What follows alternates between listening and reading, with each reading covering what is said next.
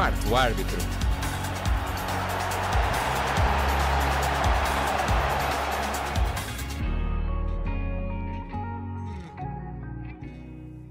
Então sejam muito bem-vindos a mais uma edição do Quarto Árbitro. Connosco temos um excelente convidado, temos Luís Freitas Lobo. Luís, antes de mais, muito obrigado por ter aceito o nosso convite. Não, obrigado eu pelo convite, é um prazer estar aqui a Um, falar de bolinha, que nós gostamos. Vamos a isso. Já apresentar, sou, meu nome é Luís Guedes e o nosso comentador residente é o João Brandão. Uh, eu gostaria de começar pelo início, fazendo um apanhado geral do seu percurso, já, já colaborou com a SIC, a RTP, a Sport TV, Antena 1, TSF e a lista continuaria. Uh, de todos estes sítios, qual é que sente que foi aquele o mais relevante na sua evolução enquanto profissional? Para, estás a falar de áreas diferentes, não é? Uma Sim. coisa é televisão, outra coisa é rádio, outra coisa é. Não referiste aí, mas é- a minha base é escrita, não é? São, são, são jornais. Uh, o jogo, a bola, uh, o expresso, o público. É tipo quase- é como aqueles jogadores que andam lá, jogam em 15 equipas ou 17. Perguntaste-me aquela onde me sinto melhor, onde, Aquele que sente que, que foi mais importante na sua evolução enquanto profissional? Ah, claramente, a escrita. Claramente. Acho que essa é a base. Tens que ir às origens, a base. Aquilo que te constrói a tua, os teus pilares para o teu crescimento. A partir daí, depois sim, tens outras coisas que te dão mais visibilidade, outras coisas que são projetos que te sentes mais realizado, outras coisas em que tu sentes que, que tem mais repercussão, outras coisas que tu vês que, que está a dar passos em frente na tua realização, mas, mas se voltarmos à origem, aquilo que foi mais importante é a escrita. Aliás, eu sou uma pessoa da escrita. Ah, acho que, aliás, não é possível conseguires falar em condições se não conseguires escrever em condições. É, é a base, é tu conseguires expressar no papel aquilo que pensas e criares um estilo, criares uma forma de pensar. A única forma também que conheço de aprender a escrever é lendo muito, não é? E a partir daí tens essa base eh, e esse conhecimento de contar histórias. Pois, claro, o passar para a televisão ou para a rádio é outra linguagem, claro.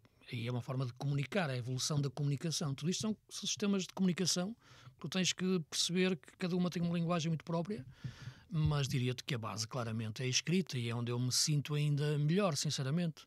Ou melhor, ou melhor dizendo, onde me sinto mais, mais eu, não é? mais preenchido, não é?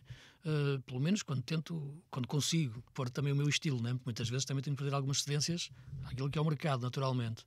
Mas a base, claramente, que é, que é escrita e, e para não me alongar muito na resposta, mesmo mesmo antes de começar a trabalhar, que está, repara, mesmo antes da atividade profissional em si, não era? Eu, miú- eu era miúdo, eu quando digo miúdo tinha os meus 10, 11 anos, já fazia os meus jornais em casa, eh, escrevendo, lá está, e fazendo os desejos dos jogadores, e ainda tenho isso guardado religiosamente.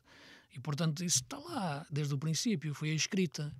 Sinceramente digo-te, eu nunca tive muito o, o sonho ou a ambição eh, da televisão ou, ou da rádio, repara. Então foi tudo muito orgânico o que aconteceu. foi, acredita que foi. Eu, eu tive sempre a vontade de escrever, de começar a escrever.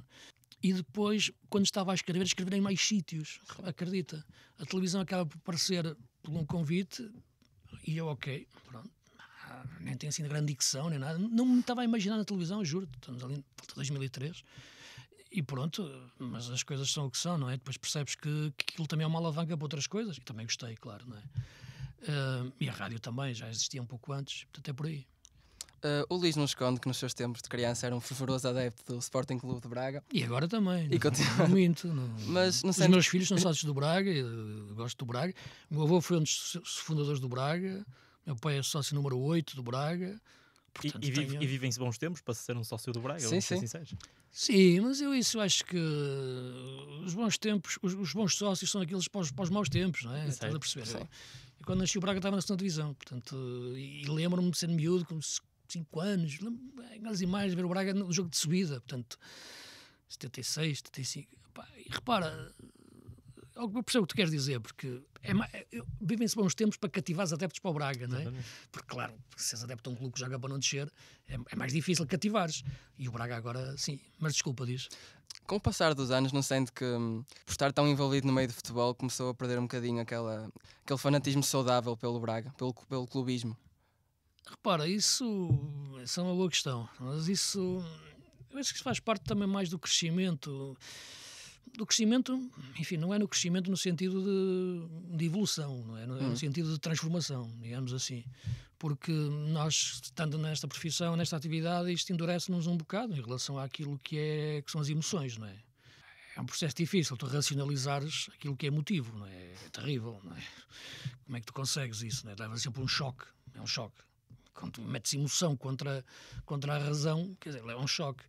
E é verdade, quando tu começas a tratar profissionalmente aquilo que antes apenas tinhas uma abordagem emocional, Emocional. é lógico que, que perdes um pouco desse encanto. E já nem quero entrar pelo conhecimento depois profundo daquilo que são os subterrâneos do, do futebol ou da comunicação, tudo isso, que também é um, também é um coice forte que se leva, ah, e sem aspas o coice mesmo, na emoção. Mas eu gosto de pensar que ainda tenho essa, essa, capacidade de me emocionar com, com, com o jogo. Não, não só com o Braga em si, mas com, com tudo aquilo que é, que é o futebol e que eu gosto, né? Luís, fazendo uma longa ponte, neste momento teria que ser uma longa ponte entre o Sporting de Braga e o futebol português em geral, porque na minha opinião, lá está, o Sporting de Braga está a jogar bem, eh, ao contrário de muitos outros clubes. Sente que a constante instabilidade no panorama eh, do nosso futebol tem muito a ver com eh, o constante ruído à volta do mesmo. Estou-me a referir, neste caso, eh, aos programas desportivos quase diários e que mal deixam a atualidade desportiva respirar. É evidente que isso é um fenómeno que, que perturba. É um ruído de fundo que, que incomoda. É um ruído de fundo que, que já é instrumentalizado pelo- pelos clubes, pelos órgãos de comunicação, pelos diretores de comunicação dos clubes, pelas direções de comunicação dos clubes. Já não é algo que nasce naturalmente, como nasceu ao princípio, de adeptos à volta da mesa a discutir futebol de uma forma mais emocional. Acho que esse princípio, tranquilo, não- enfim, é um formato como outro qualquer. Agora, transformar aquilo como meios para divulgar eh, políticas de comunicação ou de, ou de campanhas negras ou de, ou de suspeições ou mesmo de, de- de um conceito de ódio, às vezes, que se, que se leva para o tipo de discurso, eh, para debates que, que colocam em causa a honestidade das pessoas. É é evidente que tudo isso, sim, claro que é um ruído que afasta o- as pessoas do futebol, que torna o futebol cada vez mais nessa, nesse, nesse lado mais pantanoso, não é? E o que me perturba é que tudo isto agora já é profissionalizado, não é? Portanto, agora já não é o mero adepto, as pessoas que lá vão já vão mesmo contra- contratadas para fazer aquele papel, já são instrumentalizadas pelos clubes, os clubes utilizam-nos mesmo como, como meios de comunicação para passar as suas ideias ah, e, e, portanto, depois não olham a meios para atingir os fins. E claro que depois é um clima que se estabelece que é, que é respirável. Eh, e- mas o que mais me perturba nem é essas pessoas existirem, nem, é este, nem é estas ideias existirem nos clubes. Enfim, por aí, tranquilo. Tranquilo, enfim, nada, não, não, iria ser nada que iria me preocupar muito. O que preocupa mais é isto ser promovido pela nossa classe, pela comunicação social. Isso é que, de facto, que eu acho, que acho grave e problemático e perturbante. Eh, Que é ver que isto é promovido pelos órgãos de comunicação social, pelas, pelas linhas editoriais de televisões.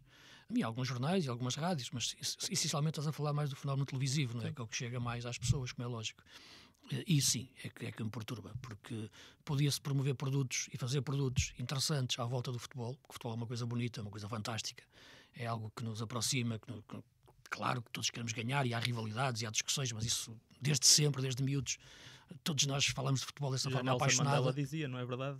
Já Nelson Mandela dizia que o futebol era, era o verdadeiro poder de, de unir, a- para, unir as pessoas. É isso Tenho as dúvidas. futebol também. É isso que dá beleza também ao futebol Claro em si. sim, é este jogo de paixões e nós termos esse confronto, essas paixões.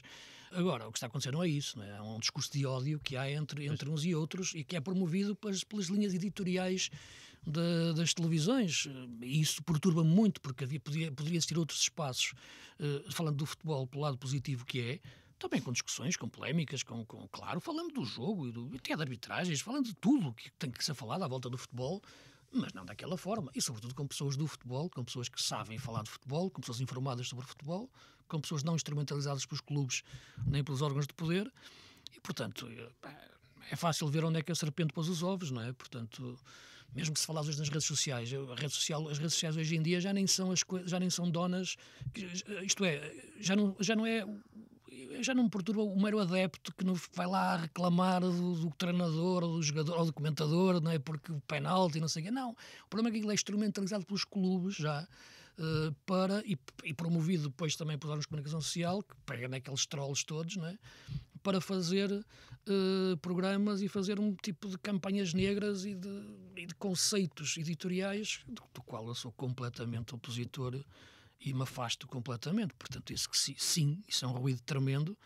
Não acho que seja a causa de tudo, não é a causa de todos os males, também não quero diabolizar essa questão, mas é um fenómeno que, como é evidente, a mim não, não, não me interessa, não vejo, mas mesmo não vendo, quer dizer, no dia seguinte sou bombardeado com isso, não é? Todas as pessoas, todas as pessoas mesmo aquelas que dizem que não veem, vêm-me contar as histórias e, claro, confesso, também não resisto depois de ir procurar o YouTube, não é? Uma dessas cenas mais... Há pérolas. Exatamente, uma das maiores pantomínias que se vê. Algumas ofensivas, não é? Claro. Porque, agora, mesmo na parte que me toca, já, já houve casos em que falaram do meu nome de forma ofensiva, não é? Eu vou responder àquilo, eu vou responder ao, ao ódio com ódio, responder aos insultos com insultos. Não. A melhor forma que eu tenho a fazer é, é ignorar, como é lógico. Não, é? não, não posso pôr ao nível do grau zero que aquilo atingiu, portanto atingimos, claro, atingimos o grau zero, portanto não, não, não para, ali, para, para, isso não, não contam comigo, não, não quero isso para a minha vida, nem preciso disso na minha vida. Né? Claro. E, e ele perguntar se, se neste espaço para comentário de, devia ser restringido a pessoas com conhecimento para tal, mas falar com o Luís Freitas Lobo é exatamente isto que acabámos de ver.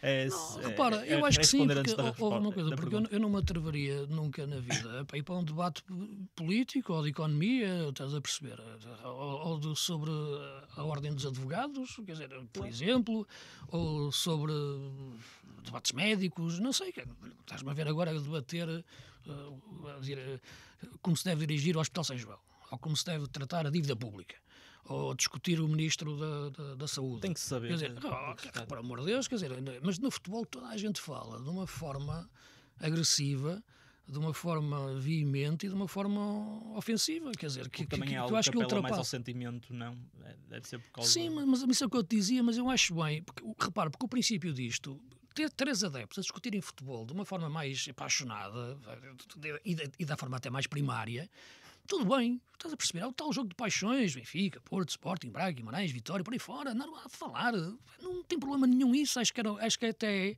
é um formato engraçado e saudável se for feito dessa forma. Agora, o que se está a passar não é isso. O que estás a passar são, são campanhas negras que se fazem contra pessoas e suspeições e tu, tu, tu, tu, não tens hipótese nenhuma de resistir a isso, não é? Portanto, é, é preocupante. E o que mais me preocupa, repito, é de facto isso ser promovido pela nossa classe da comunicação social, linhas editoriais nas quais eu não me revejo e combato e já tive problemas por causa disso, mas são os problemas de, de que me orgulho porque não, não posso pactuar com uma situação dessas, de forma alguma. De forma alguma. Podem-me falar nas audiências, podem-me falar em tudo. Não vale, não vale tudo, não vale tudo para conseguir as coisas. Acho que há princípios e valores na vida que são fundamentais. E esses desses eu não abdico. E, e portanto, não preciso disso para a minha vida e enquanto as coisas estiverem assim, estou fora.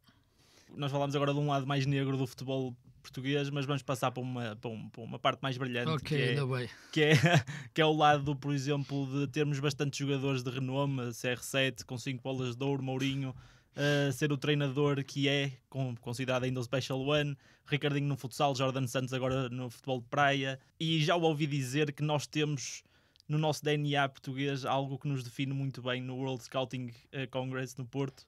Estava eu e o Alexandre quando o conhecemos e na, e na, sua, e na sua palestra falou disso Uh, o que é que há diferente nos portugueses? Qual é este bocado do nosso DNA que faz esta que nos torna tão especial?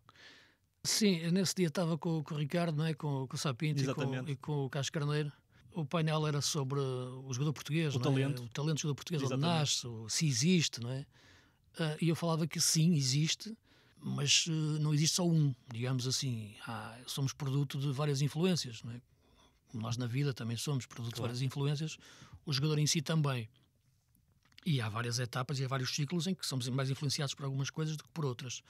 Uh, e, e, portanto, eu comecei exatamente nesse, nesse dia a falar muito da influência de Portugal como um país que, que recebeu muitas influências estrangeiras, que tem, tem, temos a nossa forma de ser, que representa, ou de jogar, no caso, que, que tem a ver com a nossa morfologia, menos física, no sentido da corpulência, comparando com, com o norte da Europa ou com, com os anglo-saxónicos, mas um lado latino de tratar bem a bola, não é? Portanto, isso é inato. E depois temos, a partir daí, várias influências que fomos tendo ao longo dos tempos, seja também de outras culturas, e falei muito daquilo que foi o lado africano, que é muito importante. Aliás, basta ver que até aos anos 80 todos os nossos pontas de lança eram todos africanos. Era desde o tempo do do, do, do Peruteu, do Matateu, do Eusébio, do Jordão, tudo isso vinha da África, não é? Ou pelo menos tinha o cheiro da África. Esses mesmo tinham nascido lá, mas vinham jogar para Portugal. Um, ou mesmo jogando em, em Portugal, assim, mesmo já sendo portugueses, num produto de segundas gerações. Uh, e, portanto, isso influenciou muito aquela nova forma, a nossa forma de ser e de jogar nos anos uh, 60, por aí. Mas sem perder a nossa, nossa, nosso estilo de futebol mais técnico e apoiado, que é um estilo latino. Depois, claro, com a profissionalização cada vez mais do, do, dos, dos métodos de treino, há uma evolução, claro, para outro tipo de, de, de, jogadores. Não acho que o Cristiano Ronaldo seja um exemplo verdadeiramente do que é o jogador português. O Cristiano Ronaldo é algo que está numa galáxia já, já à parte. Ninguém consegue formar um Ronaldo, não é? Quando se fala na formação, produto, temos que também investir na formação. Então, então expliquem-me como é que se forma um Messi e um Ronaldo. Não se forma. Aquilo nasce nasce, nasce é deles, é um talento deles. Depois, claro, pode dizer que o Ronaldo trabalha mais no ginásio, mas o Messi também trabalhou muito no ginásio ao início. Se vocês se recordarem, quando ele começou no Barcelona, a quantidade de lesões musculares que ele tinha, ele chegava a ser a chorar do banco, do, do relevado, abraçado ao Raikar, que não conseguia. E fazer um trabalho, aliás, ele tem problemas ósseos desde miúdo, não é? duvidava-se que ele mal pudesse andar, quanto mais jogar, não é? E fazer um trabalho de, de, de robustecimento muscular enorme. Agora, o futebol português, eu acho que este, o jogador português consegue absorver muito tudo. Acho que nós somos capazes de, ter, de, de, de absorver muitas culturas sem as combater, digamos assim, uhum. mas saber recebê-las e colocá-las dentro de nós, na nossa forma de ser e, e, no caso do futebol, de expressar o nosso jogo. Acho que somos produto de muitas influências, não temos a nossa identidade, sim, mas é uma identidade que nós sabemos adaptar às circunstâncias. Uh, e isso, o jogador português, eu acho que consegue sugar quase tudo que lhe, que lhe aparece perto para se, se, absorver para dentro dele. E por isso se adapta tão bem quando vai jogar lá para fora. Não é? Muitas, muitas vezes nós dizemos que o futebol português, os nossos campeonatos, tem pouca intensidade, jogos são lentos, há muita paragem, lá fora é que é. Né?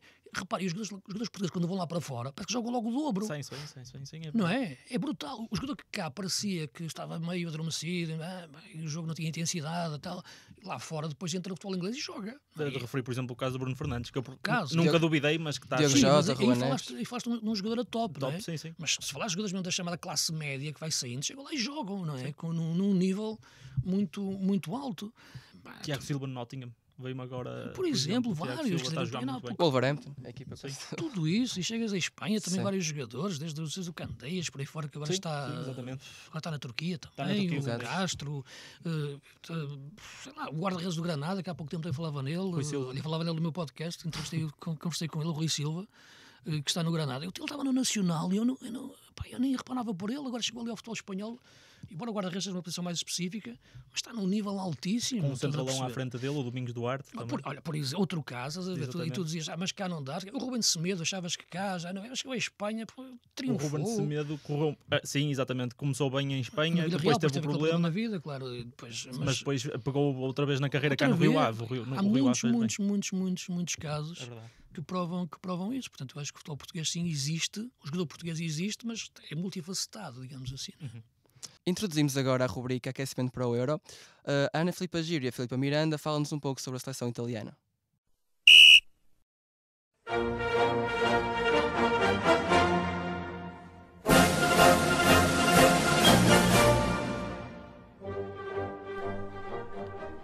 A seleção da Itália pode ser uma das surpresas do Euro 2020. À semelhança da Bélgica, foram as únicas seleções que terminaram a fase de qualificação com 10 vitórias em 10 jogos. Com a substituição de Jean-Pierre Ventura para um novo treinador, Roberto Mancini, o plantel promete fazer esquecer o fracasso na qualificação para o Mundial 2018. Temos muitas coisas a melhorar, mas isso não significa que não dê para chegar longe. Uma coisa é certa: motivação não falta a esta equipa depois de ter falhado a qualificação para o Mundial 2018, afirmou Mancini. O sucesso da renovada seleção italiana pode ser explicada pela aposta em jogadores com formação em clubes locais. Os jovens jogadores misturam irreverência com experiência e maturidade. Donnarumma, Bonucci e Jorginho são alguns dos nomes que prometem na seleção transalpina. Há 52 anos que a Itália não consegue um título europeu. A seleção será considerada pelos média um outsider devido ao passado recente, mas promete ser uma seleção com muito para dar.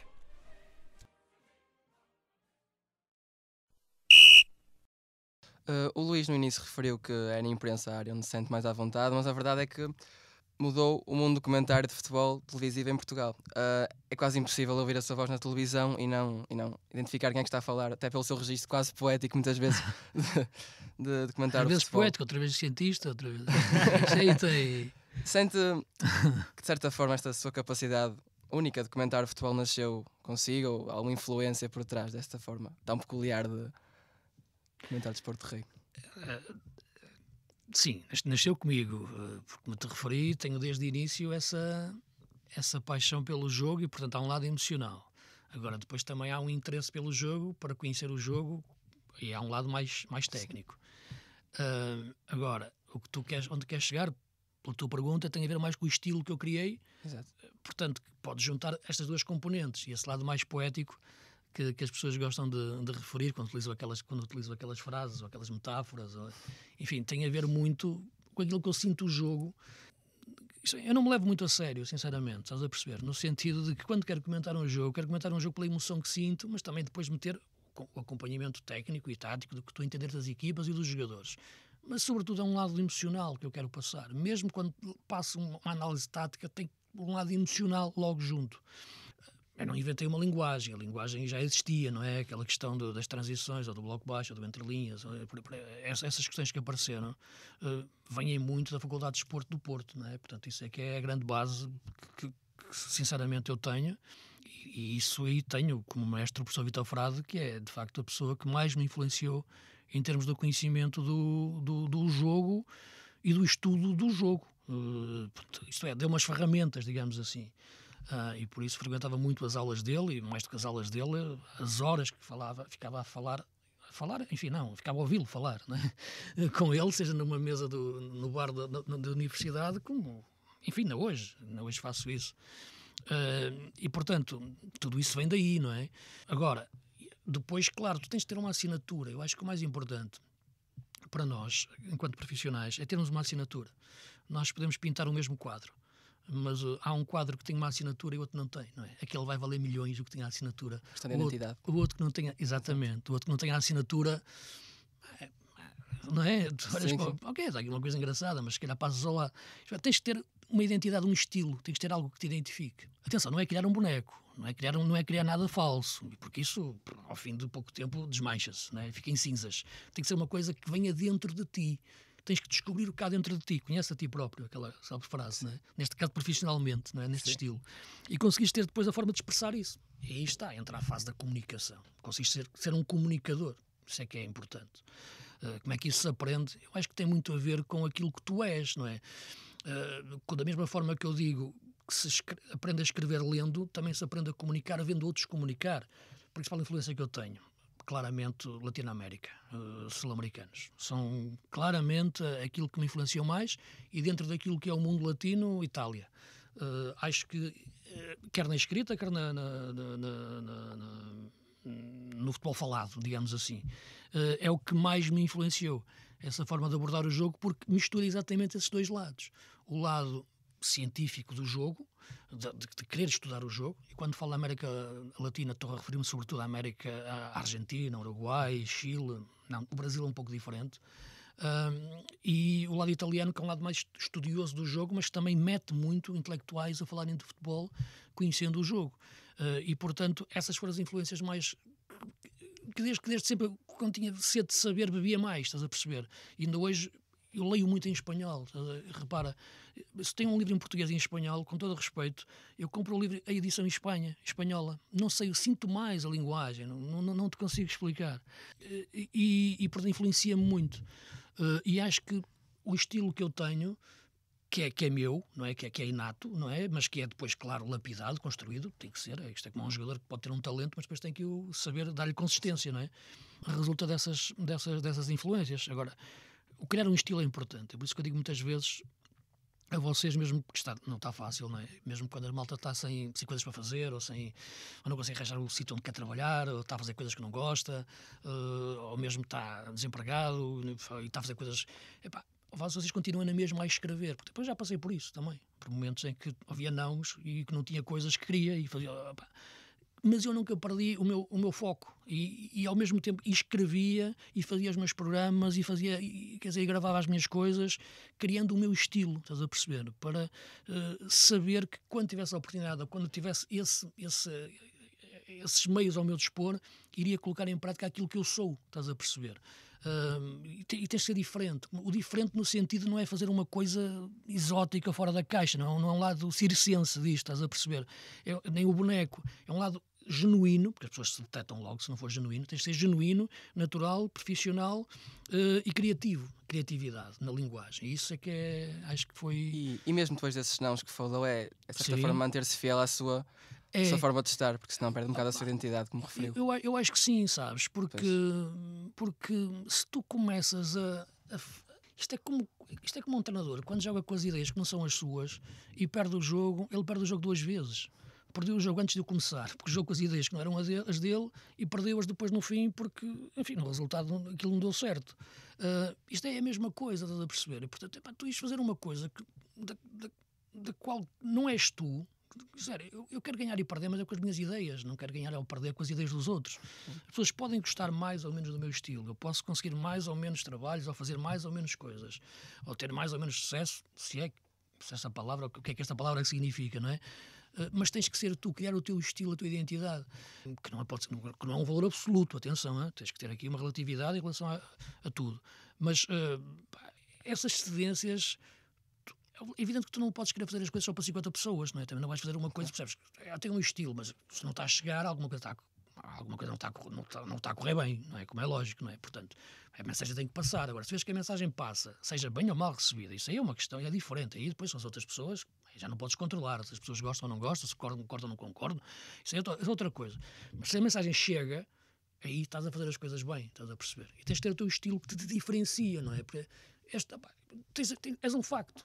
Não é? Tu, tu, é o que estavas a falar, seja pela voz, não é? a voz, enfim, a voz, a voz é o que eu tenho, não posso fazer nada, não é? Sim. Posso dobrar desenhos animados também. Sim, não é? sim. É, mas... Nunca sabe, nunca sabe. não, já fiz um ou dois, um bocadinho, só, só, só, só um bocadinho. Sim. Porque eu estava a fazer o pé, estavam ali ao lado, eu tentei, mas não, não tive hipótese. O... mas tens que criar o teu estilo, estás a ver? Isso é muito importante e, e, e manter-te fiel a ele, mas claro, percebendo que às vezes também não fazes coisas bem e tens que fazer coisas melhor, não é? Uh, o Luís, em tantos anos de comentário, certamente já vivenciou mil e uma situações. Uh, conseguiria destacar alguma, ou porque foi mais caricata, ou porque marcou mais pela positiva, pela negativa? Algum momento que destaque de todos os que já comentou? Que algum episódio? Algum episódio que destaque como mais marcante para si? Ou algum jogo que dê-lhe mais gozo fazer? Ah, repara, é uma pergunta assim, pá, os jogos que me darem mais gozo fazer, isso são sempre relativo, pá, porque Claro, tu não podes passar ao lado que são finais de Champions ou, ou, ou Mundiais, não é? Mas há, mas há jogos que, sei lá, fazer uma meia final da taça, uma Oliveirense Académica. Acho que foi uma coisa, por exemplo, que eu gostei de fazer, jogado na Vila da Feira, por exemplo. Estou-me a lembrar deste jogo agora de repente. Há é? uma razão específica? Não, por aquele ambiente todo, tens uma equipa da segunda divisão ali a jogar, a Académica, por aquele ambiente todo, que era a Académica chegar à taça, à final da taça, o estádio cheio. Enfim, aquilo, são duas equipas que sabem que dificilmente voltarão a lá estar, um Liveirense muito menos. E, e, quer dizer, eu gosto de coisas que pareçam impossíveis, não é? A, a, estar a acontecer, não é? Quer dizer, é por isso que eu gosto de torcer pelo Uruguai e pelo Luís Soares. Eu, hum. eu, estás a perceber? Mas não torceu contra o Uruguai agora em 2018, quando ah, eles jogaram contra é. nós. Contra o Uruguai? Não, não contra, contra, o Uruguai, sim. Portugal, Uruguai. Tipo Portugal, ah, sim. pronto. Então, ah. Aí não, não interessava o Cavani, estava a ver. Exato. Soares. Não, mas, Soares. Soares. Soares. Houve, houve uma coisa, mas as pessoas podem achar isto um bocadinho, um bocado, um bocado esquizofrénico, não sei. Mas eu, eu consigo vibrar com o gol do Cavani, estás a perceber? Ao Portugal. Porque acho que aquilo é, os dois golos são fantásticos. Ah, sim, não põe aos pinchos, aos saltos, atenção, não, não é isso. Mas olho para aquilo e é, acho que aquilo é fantástico. Estás a, estás a, perceber? Não, não, não, não consigo. Eu vou-te ser sincero, eu, eu fiquei mais. Repara, eu quero ganhar sempre, não é? Este, este, este, debate só faria sentido se alguém dissesse prefiro jogar mal e perder, não é? Não, não, é, não é isso, não é? Não é, ninguém, nunca prefiro perder. Mas eu fiquei mais desiludido, mais triste, mais abatido quando perdemos em 2000 com a França vocês eram novos naquela altura. Mas... Nem era nascido. Não? Pronto, epá, mas digo que tínhamos uma seleção que era uma coisa brutal. E é a mão do Abel Xavier. Epá, aquilo é. Fiquei desfeito naquele dia, né? Do que vibrei com a vitória que ganhámos agora na, à França. Ganhámos, claro, fiquei contente, mas não fizemos assim, não, somos os melhores da Europa, não é? quer dizer, pronto, somos, é, fomos campeões da Europa, mas não, não jogámos o melhor futebol da Europa. Uh, mas naquela altura jogávamos, estás a perceber? Éramos mesmo muito bons, aquela seleção era fantástica, ela vinha 3 2 à Inglaterra para dar para 2-0. Portanto, esse lado de, de, de eu gostar do, do, do, desses jogos, pelo esse lado, de, pelas emoções que, que eu sentia ver o jogo, repara Eu lembro, por exemplo, ter feito ali uma meia final da. E sou amigo do Mourinho e queria que o Mourinho ganhasse e, naquele dia. Epá, mas era impossível estar insensível àquele ambiente em Anfield Road, no Liverpool-Chelsea, a meia final. Isto por volta de. Acho que foi em 2007. Sim, meia final. Houve duas, Liverpool-Chelsea. Esta foi que foi aos penaltis. O Chelsea ganha um zero em casa, depois ali o Chelsea faz logo um zero, o Liverpool faz logo um zero do Benítez pelo Agar e depois aquilo vai aos penaltis. Epá, e então, comentares um jogo em Inglaterra, tu estás mesmo no meio da multidão. E então em Anfield aquilo é brutal, não é? Porque ao lado está os seguranças em cima do, do, do, de uma cadeira também a, a dançar. Epá, e estás a comentar no mesmo sítio, não é? Quer dizer, e, e, epá, aquilo é uma explosão, uma brutalidade, aquilo em Liverpool, então. Quer dizer, que é uma cidade que vive para o futebol, não é? Um, pá, e por isso, se calhar, uma cidade, enfim, não, não ganha nenhum concurso de beleza aquela cidade, não é? Mas repara, deu se calhar os maiores grupos de, de música do mundo, como os Beatles, Sim, não é? Deu das maiores, maiores clubes do, do, do mundo, como o Liverpool. Portanto, se tens os Beatles e tens o Liverpool, que foi a melhor equipe dos anos 80 e agora outra vez, os melhores adeptos, o estádio mais mítico, com o You Never Walk Alone, a melhor música, é algo de mágico que aquilo tem, não é? Uh, e aquele comentário nesse jogo uh, marcou-me muito. Uh, depois o Mourinho estava chateado no fim porque perdeu o jogo, claro, uh, nos penaltis. Mas isso faz, faz parte. Né? Isso é... Mas agora, histórias há, há tantas, não é? Mesmo quando falas com os treinadores no fim, mesmo quando falas com os jogadores, uh, em relação àquilo que foi uma jogada ou que foi outra. Acho engraçado, quer dizer, as coisas, não é? Mesmo quando falo com os jogadores, lembro-me de alguma, sei lá, por exemplo, aqui há tempos eu lembro-me de estar a documentar um jogo do Porto, que Sérgio Oliveira marcou um gol Pá, uma coisa incrível. Marcou um gol, marcou um penalti com os dois pés. Penalti. Lembras daquilo? Por acaso recordo-me disso. Em que jogo foi? Já não me lembro, mas foi há, foi há o quê? Uh, foi, foi no ano pouco, passado. Não sei, há dois anos, por aí. Foi, não, foi, foi. Porque, não, porque ele chuta com, vai arrematar com o direito, depois derrapa Exatamente. e, e, e, na altura até se pensou que ia ser anulado porque ele e, tinha. E foi anulado. Foi anulado, foi, foi, foi, Ah, foi. pronto, então eu, eu lembro a, a bola entrou, ele foi a festejar para o banco, porque queria marcar um gol, porque antes tinha falhado outro, não sei, não me lembro. Uh, e no fim o Arte invalidou porque foi um penalti a dois toques, não é? Lembro, lembro de ter logo mandado uma mensagem só tu para me fazeres comentar um penalti e uma traquilha, não é? Mas como é, como é, que os jogadores quando chegam ao, ao balneário têm logo acesso ao, ao, ao telemóvel e então, isto não é nenhuma inconfidência porque sou amigo dele, não é? E ele diz, mas foi mesmo com dois pés? Pá, foi, pá, só tu. É uma história entre, entre tantas. Pá. Mas, mas uma que provavelmente se deve recordar bem no seguimento do, da, do Oliveirense Académica foi, é provavelmente o, o, o Beira-Mar uh, Campo Maiorense, 99. Ah, ah, mas essa, não, essa, essa ainda não era profissional. Já, era, claro, era. Já era. Tava, mas é a nível só de imprensa escrita, sim. Ah, pronto. É sim. É que essa nunca mais vai acontecer. Essa, não, mas essa não comenta essa. Não. Sim, sim. e, e uma meia final exposendo Campo Maiorense. Portanto, Exatamente. O que é isso, não é? Uhum. Com, com o Petit a jogar no, no Exposendo, na altura estava emprestado pelo Boa Vista, e no Campo Maiorense o Isaías, que foi a grande, a grande figura do Benfica. Sim e Ricardo Souza no Beira, no Beira, no Beira Mar, depois Sousa a marcar o gol. É fantástico, esse, esse, esse, ano foi incrível. Exatamente. Pronto, nós já, já dissemos aqui várias vezes nesta, nesta entrevista que o futebol é de facto um desporto bastante apaixonante, mas maioritariamente por causa da imprevisibilidade uh, que lhe é inerente.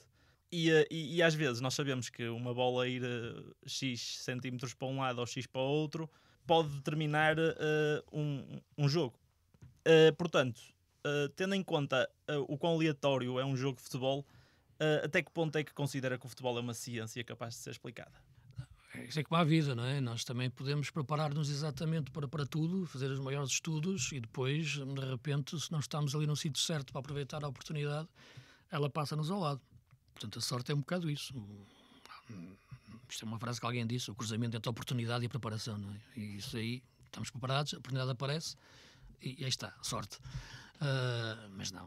Uh, repara, tu podes programar aquilo que tu queres fazer até um certo ponto, como queres jogar, como queres que a tua equipa jogue. Agora, tu não podes controlar depois se a bola bate no poste e vai para fora ou vai para dentro. Portanto, isso é o lado mais aleatório e talvez mais e emocionante do, do futebol. Estávamos há pouco a falar quando Portugal foi campeão da Europa. No, no último minuto, os franceses tiveram uma bola no poste que depois andou ali um bocadinho quase sob a linha, não é? Exato. Quase um bocado entrava. Sim, mas isso estava tudo controlado. Não. Sim, sim. De repente, não. Toda a, nossa, toda a ciência do nosso jogo, mesmo sem Ronaldo, não é? que fomos campeões da Europa sim. naquele dia, sem o Ronaldo saiu muito cedo, e os franceses montou bem ali a equipa, nós aguentámos bem ali os franceses, mas lá está, naquele lado, aquele lado mais aleatório do jogo, que é, que é apaixonante Portanto, porque é algo que tu não podes controlar. Uh, é por isso que quando me falam na verdade desportiva, mas qual verdade desportiva? O futebol é um jogo de mentira desportiva. Isto é, no, ver se me entendes, não estou a falar de o gol ser, ser validado um gol e fora de jogo, não sim, é sim, isso? Sim, não, da mentira desportiva do caso de uma equipa faz 50 ataques, faz 100 cruzamentos, faz 30 remates, cria 40 oportunidades e a outra vai lá uma vez e ganha o jogo. Isto é a verdade do jogo que se jogou. A outra vem mesmo aquela mais forte. Não, o futebol tem esta magia. Mais nenhum desporto tem isto. Em mais nenhum desporto isto é possível.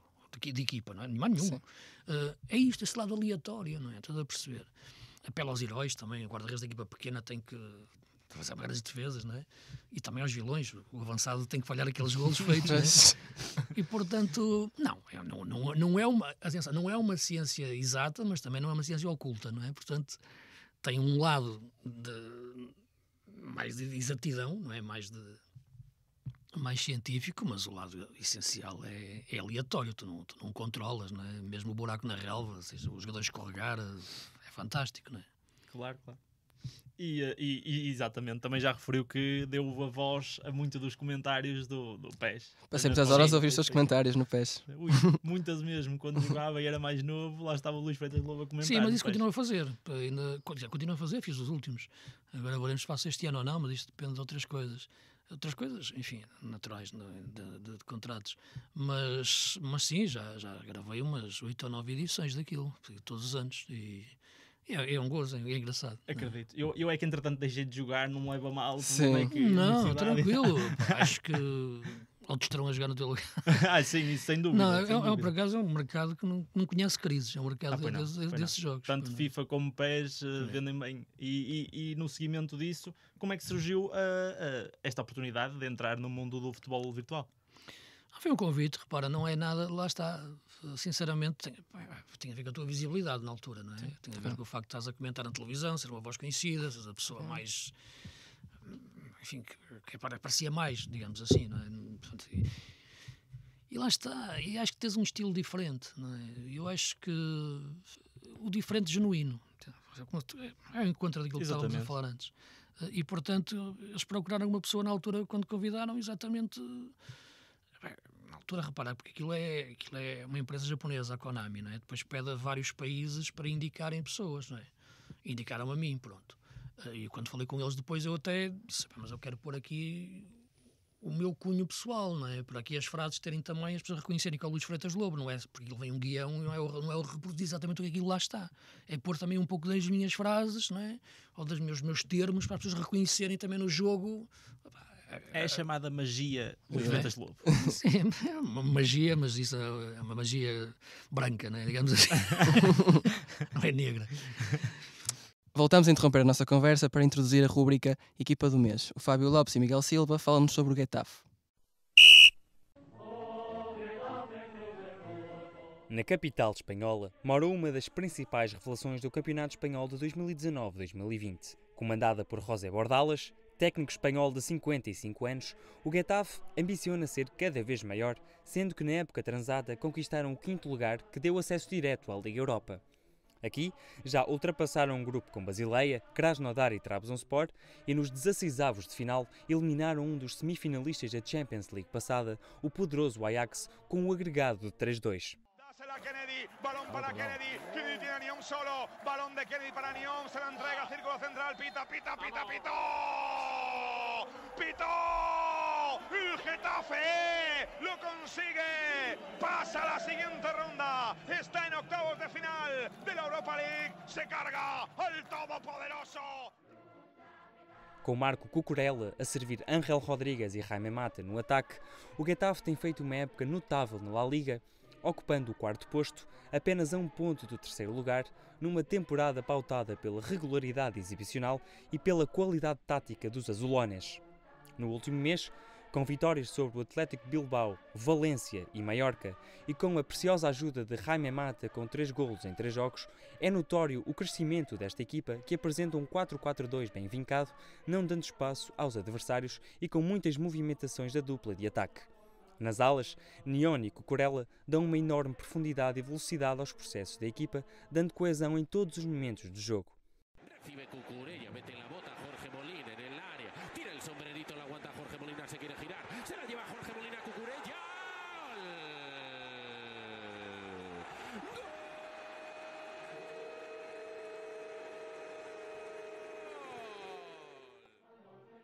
Já no processo defensivo, Jenna e Etcheita têm comandado a defesa nos últimos encontros.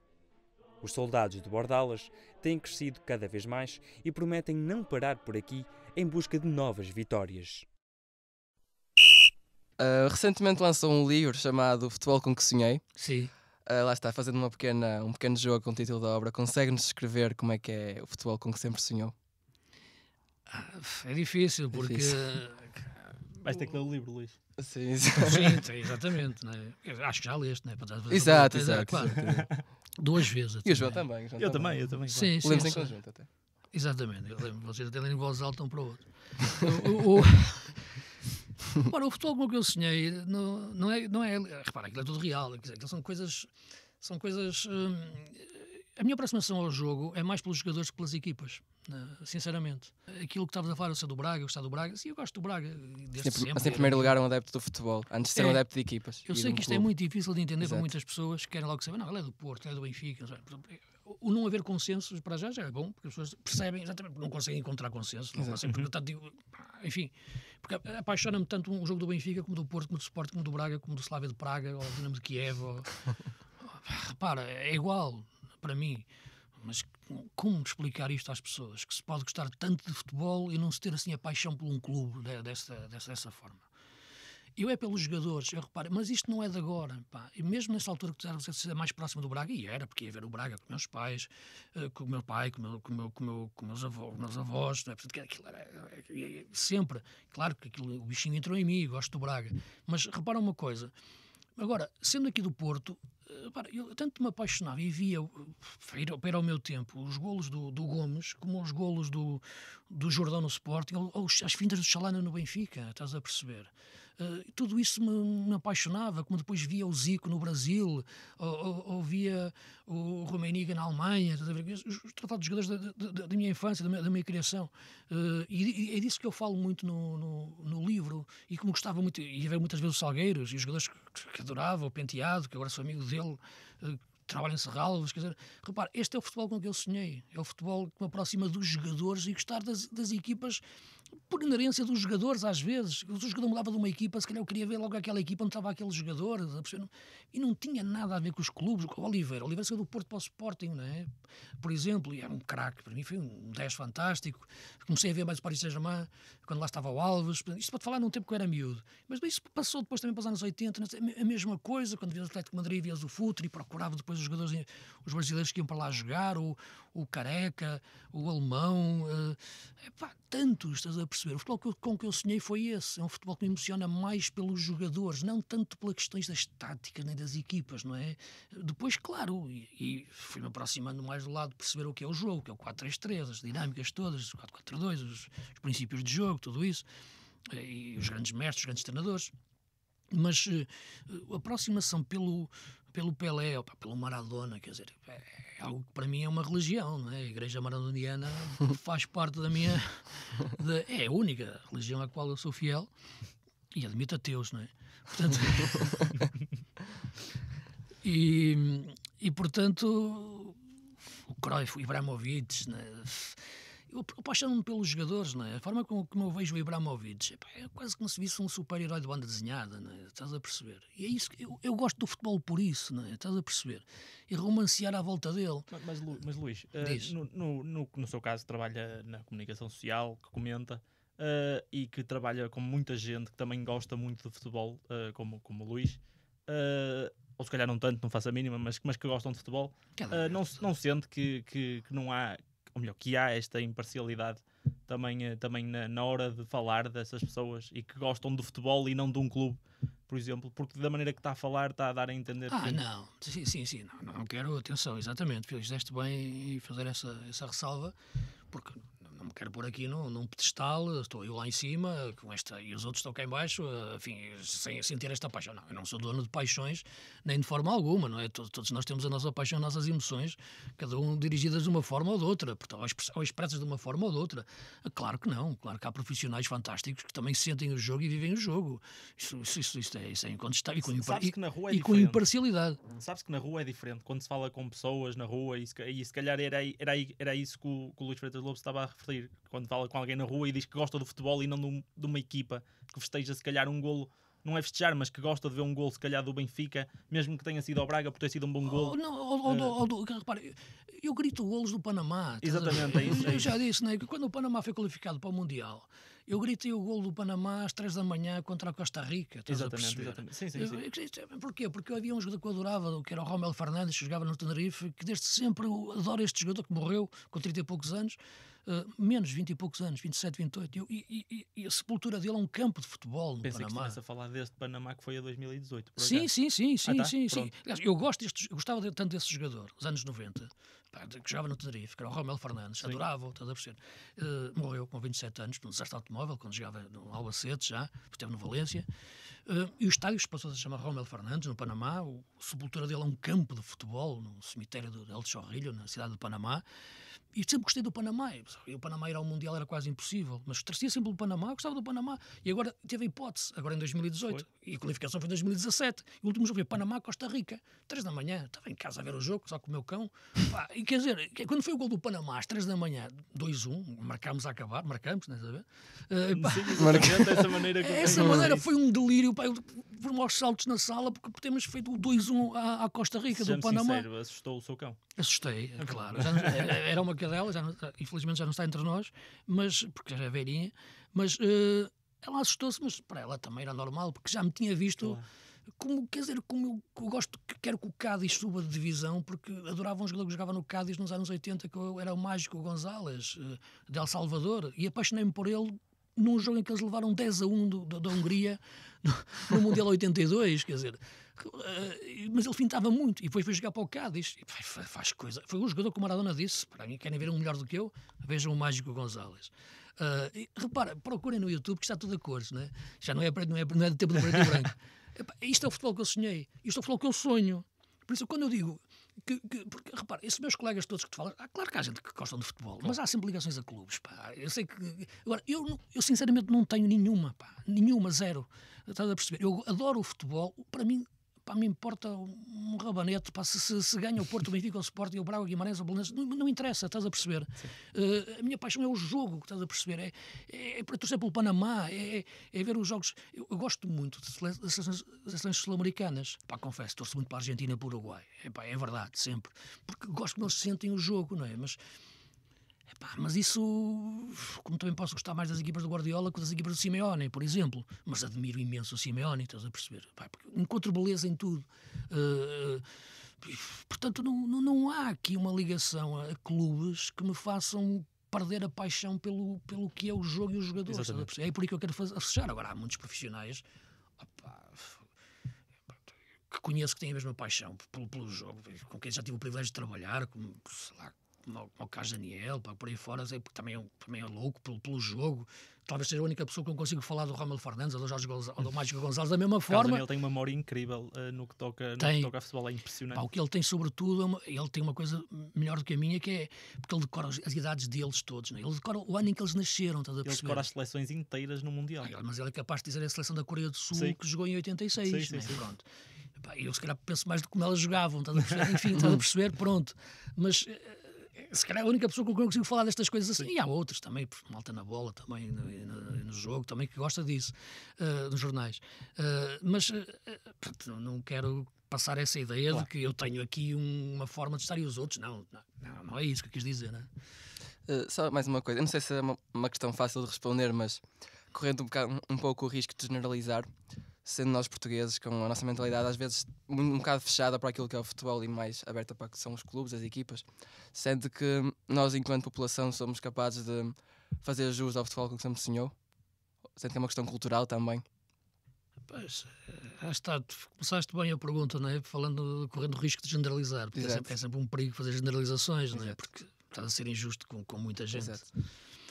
É lógico que tenho dificuldades em responder que sim, não é?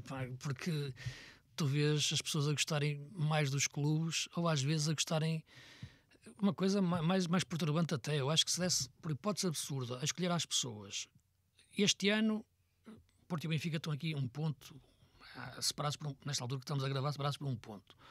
Eh, se dessem escolher às pessoas, adeptos dos dois clubes, eh, isto é uma hipótese absurda, não é? Quer dizer, ou preferem que ganhem. Este ano não, não pode haver, agora, não pode haver mais jogos, não é? Ganham os dois ou perdem os dois. é? Atribuímos o título aos dois ou então não atribuímos o título a ninguém. Eu acho que os adeptos preferiam Hum, sim. Fez. que ninguém ganhasse Exato. do que. Concordo consigo. É verdade, é verdade. Estás a perceber? Ganhava o Braga. Não, não é, não, é, não é aí que eu queria sim, chegar. sim, é? sim, Pronto. sim. Percebes o que eu queria dizer? Sim, sim. Uh, preferiam que ninguém ganhasse do que ganhassem os dois, estás a perceber? Eu acho que aquela coisa de eu ganho, mas tu perdes e esfregar-te na tua cara É verdade, é que, verdade. É que- verdade. que tu perdeste está tá mais presente no sentimento do futebol. Se calhar está, está, na prima, está, está naquilo que é primário, É o no anticlubismo. É o anticlubismo. É, mas isto também, repara uma coisa, se isto for feito de forma saudável, se há que forma de fazer isto saudável, mas num lado, opa, a nossa aproximação ao futebol desde miúdos é selvagem e excessiva, não é? Quer dizer, mesmo quando jogamos na rua, mesmo quando começamos a jogar, mesmo quando discutimos com os amigos, epá, é isso. Agora, se for sa- saudável no sentido da rivalidade, sem conceitos de ódio ou que é destruir o outro, como acontece agora no- na profissionalização do ódio, eh, não, não passa nada, não é? É até é, o futebol é isso, são, são essas emoções. Eh, portanto, é um perigo as generalizações, mas, mas claramente não é? tem que ceder a essa, a essa, a essa situação, não é? a essa opinião. E diga-me uma coisa, sendo que já, já, já vê futebol há alguns anos, já, já comenta há alguns anos também, nunca pensou em abraçar a modalidade de uma outra forma, seja enquanto treinador, enquanto diretor, eventualmente num futuro próximo ou distante? Ah, treinador, não, sinceramente, nunca. Porque, enfim, eu posso gostar do jogo durante o jogo, não é? E estar a, a analisar uma equipa e achar que uma equipa deve jogar, ou até estar junto com o treinador a ver o jogo e dizer, pá, acho que isto devia ir por ali ou por aqui. Eh, e ele até concordar ou não concordar, e, mas depois perguntar, eh, mas como é que eu treino isso? Isso já não sei. não é? Portanto, eu posso achar que a equipa deve jogar assim, mas agora como é que a treina? Não sei. Porque eu não tenho atração pelo treino. E treinar não é só estar na- ao, ao- ao domingo ou ao sábado, ou quando se joga o jogo, a orientar a equipa ou a dizer como a equipa deve jogar e mover as peças. Não, tens que ter o treino. E o treino em si nunca foi nada que me, sinceramente, me apaixonasse. E, portanto, treinador não, porque treinador não é só o jogo, é tudo a metodologia de treino. Ah, Agora, a direção desportiva ou a estrutura de um, futebol, de um clube de futebol, sim. Isso, aliás, já foi público, inclusive, algumas situações em que isso já se aproximou de mim, eh, quer através de uma forma mais formal, quer através daquelas chamadas sondagens, né, que, se- que as pessoas tentam procurar saber se uma pessoa está interessada ou não, seja em campanhas eleitorais que eu não quis entrar. Pá, nunca calhou, nunca deu. Eh, já fui tentado e, no fim, hesitei muito, sim. Se disse, "Epá, se calhar devia ter aceito, eh, se- sim, também penso. Uh, se digo, ainda bem que não, que não aceitei, também penso. Uh, pá, se é algo que me atrai, sim. Se é algo que vivo obcecado por isso, não. Mas é algo que acho que faria sentido, não sei, no, no meu percurso. Mas tem a ver com uma questão do, do momento, do clube em si, do projeto. Projeto, sempre uma, é sempre uma palavra isto, isto é um bocado esotérica, não é? em Portugal, mas, mas repara, depende muito de- das circunstâncias. Mas, ou seja, mantém-se a possibilidade em aberto de um Ah, sim, dia claro, virmos a ver António Salvador contra para a direção do Sport. Não, não, não, não, isso não, isso não, não, não, isso não. O que pode haver, ele, olha, porque já, ele já me chegou a convidar, depois houve ali outras coisas pelo meio e não deu.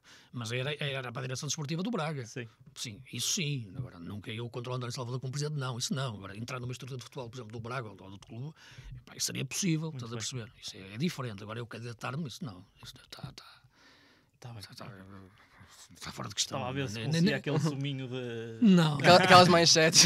não, isso não, Sim. isso- Como o isso- Ricardo isso- Pereira sim, sim, sim, sim. não vai acontecer nunca. Ah, e agora, de forma a concluir a nossa entrevista, faço-lhe uma pergunta. Se, se o futebol não existisse, o que é complicado imaginar, ah, o que é que provavelmente estaria agora a fazer neste momento o Luís Freitas Lobo? O que é que estaria a fazer neste momento? Se o futebol não existisse, Se o futebol não existisse. e o mundo existia na mesma. O mundo...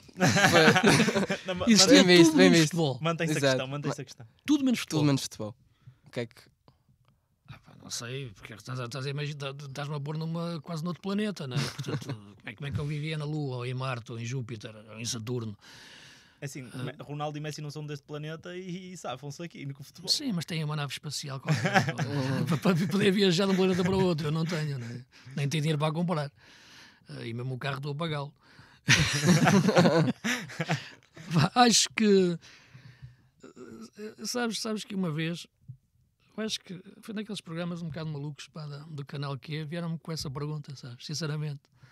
Acho que até acho que foi a Ana Marca, ou não sei, foi aquelas coisas. Ah, Acabou de chamar o nosso programa maluco. Não, não, não, não. É uma honra, O não nosso programa é um programa sério, com um nível intelectual altíssimo, do qual, do qual eu estou a tentar estar à altura. Portanto, fique esclarecido. Exato, exato, exato. Não. eh, e eu, naquela altura, disse que hum, gostava de trabalhar no Zumarino. Eh, Essa resposta é muito boa. é verdade. eu gosto muito de animais, portanto, ou no Jardim Zoológico. Temos manchete. Eh, embora não seja muito a favor do Jardim Zoológico, o Jardim Zoológico agora está melhor, porque não tem, não tem jaulas, não tem grades. né? Enfim, dentro do, do- daquilo que possa um Jardim Zoológico, acho que está, que está melhor. E gostando muito de animais, aliás, tenho muitos cães vira-latas em casa, que apanho, vou apanhando da rua e fico em casa. Vão, vou ficando. E, e, e aquela cena dos golfinhos e tudo, é uma coisa que, que, que eu gostava de trabalhar com animais. Portanto, se, se o, mundo, se o mundo não tivesse futebol, eh, não tenho assim nenhuma atração outro desporto. Podia, podia te falar no outro desporto, porque havia, havia outros desportos Sim, não é? sim. nesse, Ah, isso nesse planeta. havia, Havia, sim. Só não havia futebol. só não havia futebol. Ainda havia cricket. Hã? Ainda havia cricket, sim. por exemplo.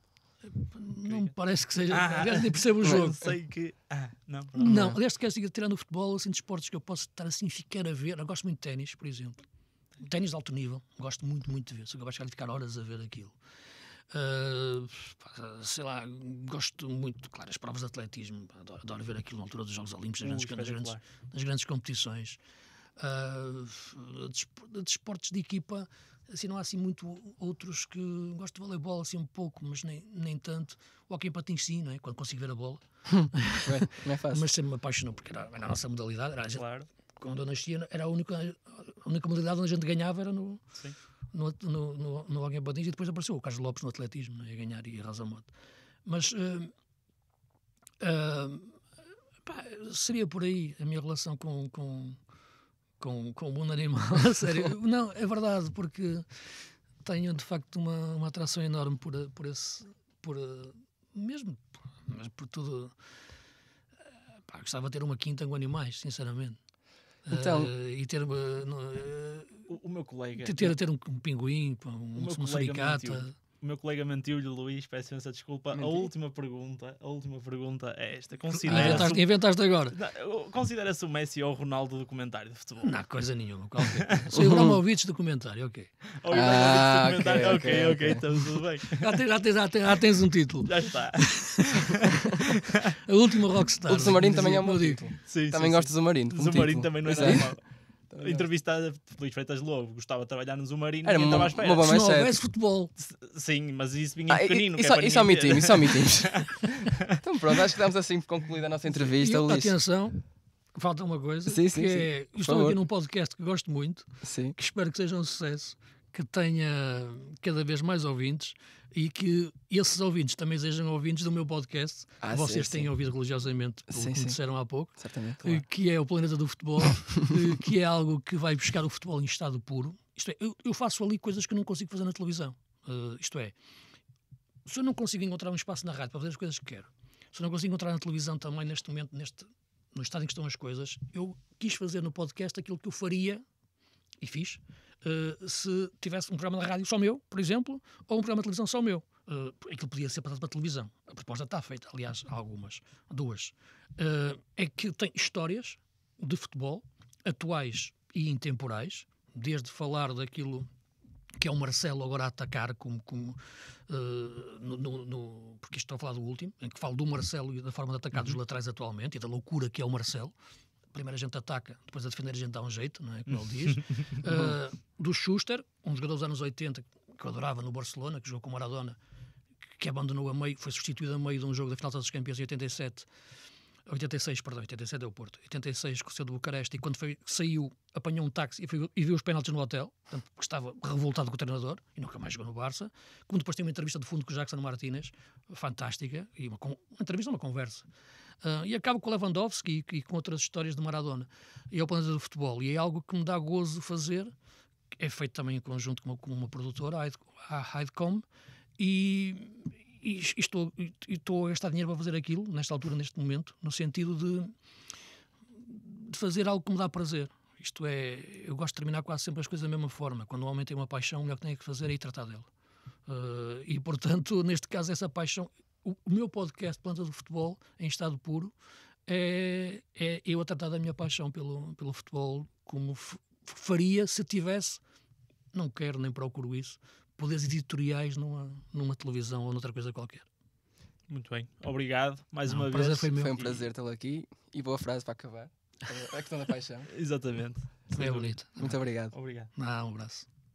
Chegamos assim ao final de mais um programa. Obrigado por nos ter acompanhado.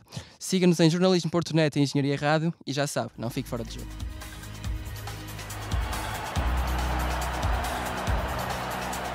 Quarto árbitro.